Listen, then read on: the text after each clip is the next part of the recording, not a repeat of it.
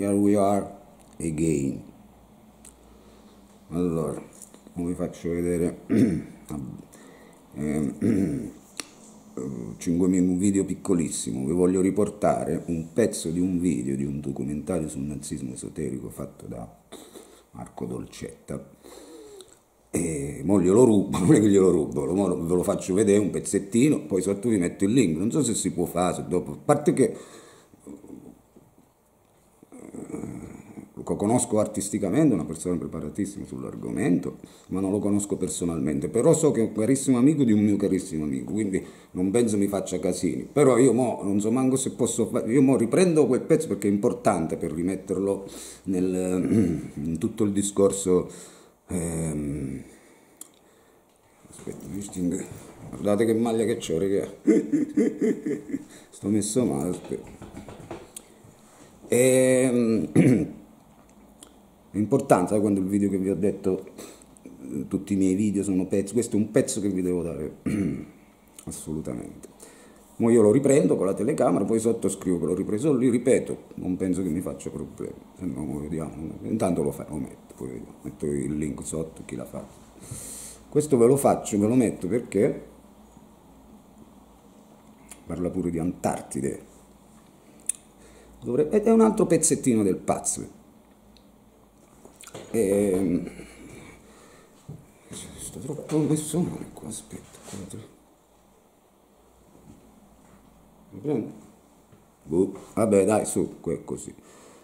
Eh, ehm... Poi vi faccio quello su cui vi avevo promesso, Hitler, eh, sul coso mistico, eh, vi ripeto, io non, io non sono antisemita, a me non mi interessano queste cose politiche, neonati, ogni volta che parlo di queste cose, mi, non ve lo dico perché ho paura, questo è, è il mito è tutto quello che sto a fare, questo, mi, ci viene, mi ci viene da ridere. Però è vero, non mi interessa queste cose, mi interessa la parte mistica, occulta, magica. Quindi Vado subito, ve lo faccio vedere, poi ne riparliamo. Aspetta, è un buon momento perché ho qua un casino. Eh? Aspetta, come devo fare? Eh, facciamo così.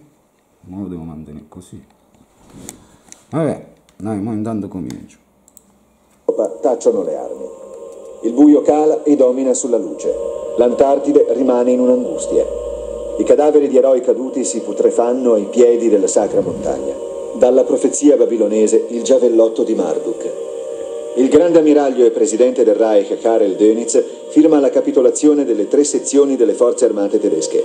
Il Reich della Grande Germania invece non ha mai capitolato. Quindi ufficialmente la Germania non ha mai capitolato.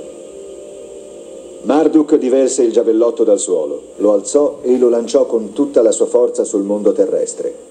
E mentre Marduk fece così, Ishtar comandò alle stelle di emanare una nuova luce. E poi appaiono gli UFO nel cielo del globo terrestre e non è per caso che assomigliano alle costruzioni tedesche. Già nel 1939, all'inizio della guerra, si è detto e quando il nemico invade l'intera Germania si continua la guerra da fuori. Non è un caso che abbia scelto di vivere qui in Cile, nell'estrema punta sud della Patagonia ho viaggiato infatti in Antartide prima, durante e dopo la guerra. So anche che i sottomarini tedeschi sono venuti qui più volte, nella parte calda di Antartide, che è una vera e propria oasi, come avevano intuito Poe in Gordon Pym e Verne nella Sfinge dei ghiacci.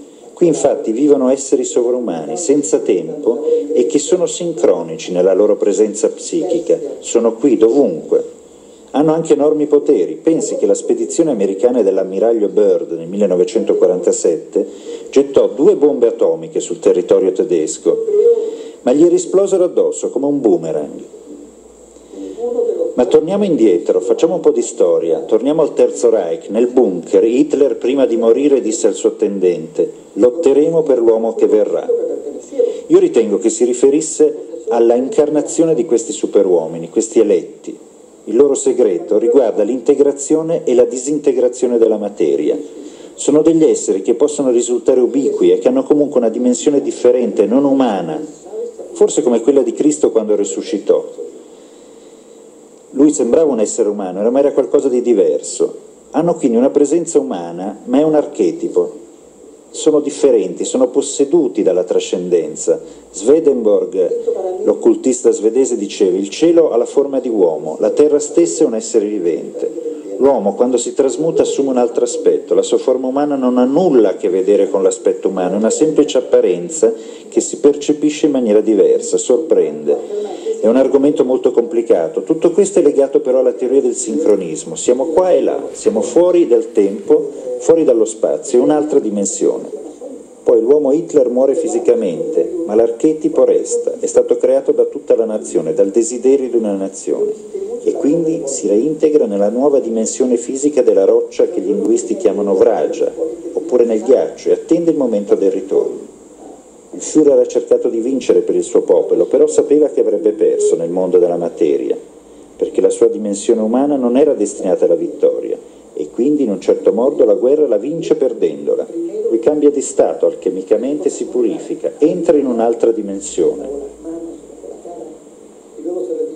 La scienza dell'implosione ha assimilato Hitler al ghiaccio dell'Antartide, è in attesa di ritornare. Ritorniamo alle tradizioni induiste. Kalki sarà l'ultimo avatar, l'uomo che verrà, il riscatto alla fine del Kali Yuga, dell'età nera. Nel cattolicesimo c'è il Redentore, nell'Islam c'è il tredicesimo Imam. Bene, io credo in Hitler, credo che si è reificato nel ghiaccio in un'altra dimensione e credo che stia per tornare. Pensazione del futuro.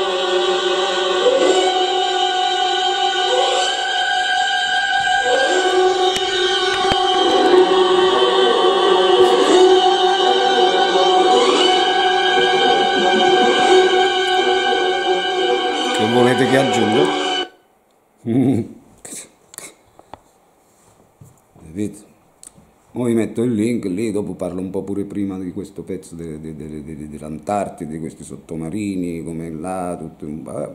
Devo andare a carino perché vuole vedere tutto se lo può vedere, ti metto il link sotto perché lo devo fare per forza, non, non, lo so come funziona, io comunque me l'ho ripreso, lo metto, no, se mi fanno storie, tanto scrivo da dove l'ho preso, è pubblico, non, lo so se lo posso fare veramente, se non lo posso fare dovrà essere la persona titolare del cosa a fare, ma non penso che mi faccia storia, ripeto. Vabbè, mo intanto lo metto. Perché? Perché è importante da ricollegare al, al discorso magia, ma non solo, perché da ricollegare a tutto, perché quello che avete sentito qui non lo dovete sentire, dite, vabbè ho capito, no, può darsi, credi di averlo capito, non l'hai capito. Lo devi rivedere, poi magari lo rivedi pure fra un mese o con altra consapevolezza, intanto ce l'hai insieme a tutti gli altri pezzi poi ognuno si rimette in base alla sua cosa. Dai, poi vi faccio i video, preparo, quello lo devo fare perché là con le traduzioni me le devo fare a mano io perché là non si può traduce male, lo devo tradurre io, quindi devo scrivere e, e mi ci vuole tempo, quello su perché Hitler era così. Gli occhi azzurri, magneti, mica dico, tutte le testimonianze manipolava tutta la cosa che. Eh, ma poi vi spiego tutto questo, però lo devo preparare bene perché non vorrei...